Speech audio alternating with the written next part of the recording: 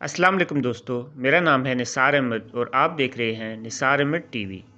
दोस्तों, दुनिया में सांपों की तीन हज़ार से ज़ायद अकसाम पाई जाती हैं, जिनमें से कोई 600 के करीब अकसाम जहरीली हैं। इनमें से कुछ अकसाम ऐसी हैं जिनके काटने से इंसान कुछ ही वक्त में मौत के मुँह में चला जाता है।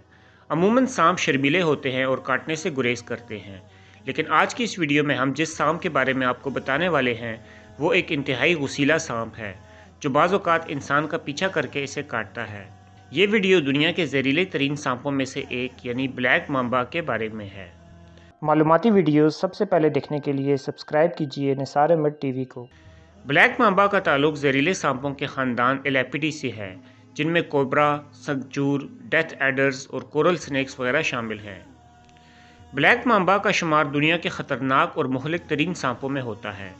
ये इतना जहरीला सांप है कि अगर ये किसी इंसान को काट ले तो एंटी वैनम ना होने की सूरत में 20 मिनट के अंदर ही इंसान की मौत हो सकती है। ये अपने ख़तरनाक जहर के लिए जाना जाता है। इसके जहर के सिर्फ़ दो कतरे ही इंसान को मारने के लिए काफ़ी हैं। ये ना सिर्फ़ जहरीला है, बल्कि दुनिया का तेज़ तरीन और दूसरा लंबा तरीन जहरीला सांप भी समझा जाता है, जिसकी रफ्तार 19 किलोमीटर फ़ी घंटा है। इसके अलावा ये बहुत जारहाना मजाज सांप और गसीला सांप है। इसलिए अगर कभी इसका इंसान से सामना हो जाए तो ये इंसान को काट कर ही छोड़ेगा। इसका जहर न्यूरोटॉक्सिक और कार्डियोटॉक्सिक होता है, जिसका मतलब है कि इसका जहर हमारे असाब और दिल पर असरअंदाज होता है, जिसके नतीजे में फालज और दिल की धड़कन मुतासर होती है।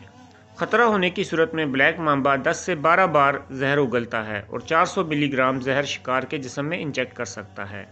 चूँकि ये एक बहुत जहरीला सांप है और अफ्रीका में जदीद मेडिकल सहूलियात ना होने की वजह से हर साल बीस हज़ार लोग इसके काटने से मर जाते हैं।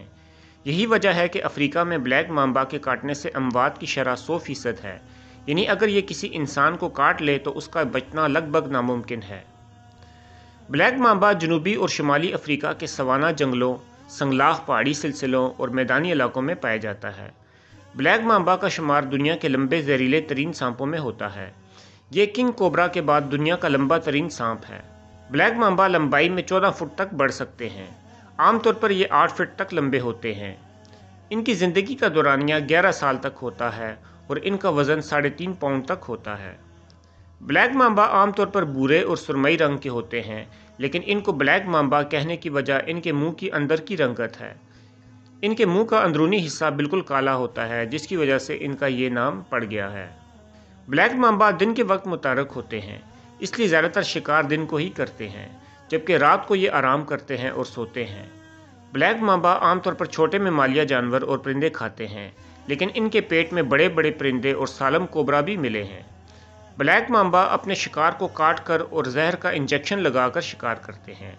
एक मरतबा जब शिकार जहर के असर से मर जाता है तो इसके बाद ये अपने शिकार को खाता है। ब्लैक माम्बा के काटने के बाद शिकार को मरने में अमूमन ज़्यादा देर नहीं लगती। ब्लैक माम्बा अपना शिकार सालम निगल लेते हैं। इनके जबड़े लचकदार होते हैं, जिनकी वजह से ये अपने सर के साइज़ से चार गुना ज़्यादा खुराक अपने मुँह में ले जा सकते हैं।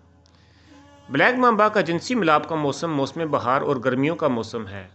मादा माम्बा छः से पच्चीस अंडे देती है, जिनमें से तीन महीनों के बाद बच्चे निकल आते हैं।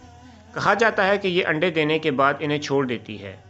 अंडों से निकलने वाले बच्चों का साइज़ आमतौर पर 16 से 24 इंच तक होता है। अंडों से निकलने वाले सांप भी बालक सांपों की तरह इंतहाई जहरीले होते हैं। दोस्तों, जंगली हयात के बारे में मुफीद मालूम के लिए हमारा चैनल ने सारे मट टी वी सब्सक्राइब करें और इस वीडियो को लाइक और शेयर ज़रूर करें। शुक्रिया।